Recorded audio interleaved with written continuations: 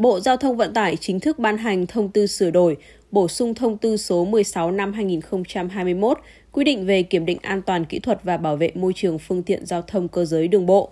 Thông tư sửa đổi có hiệu lực từ 0 giờ ngày 22 tháng 3 năm 2023 với sửa đổi 7 điều và 5 phụ lục trên 18 điều và 19 phụ lục của thông tư cũ. Trong đó có hai nội dung đáng chú ý, đó là miễn kiểm định lần đầu đối với xe cơ giới chưa qua sử dụng. Điều kiện của phương tiện để được áp dụng quy định này là có năm sản xuất đến năm nộp hồ sơ đề nghị cấp giấy chứng nhận kiểm định dưới 2 năm và có đủ hồ sơ hợp lệ sẽ được cấp tem và giấy chứng nhận tại các trung tâm đăng kiểm mà không phải mang xe đến trình diện.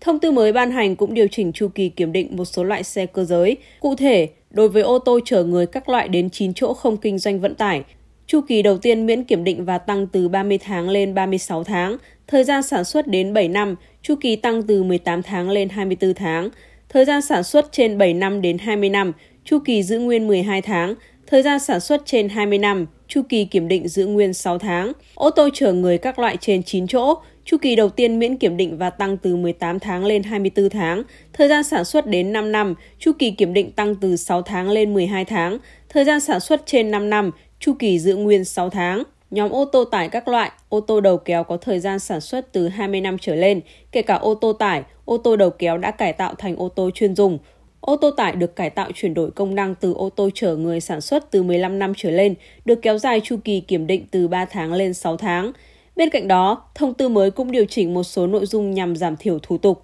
chi phí và thời gian cho người dân và doanh nghiệp.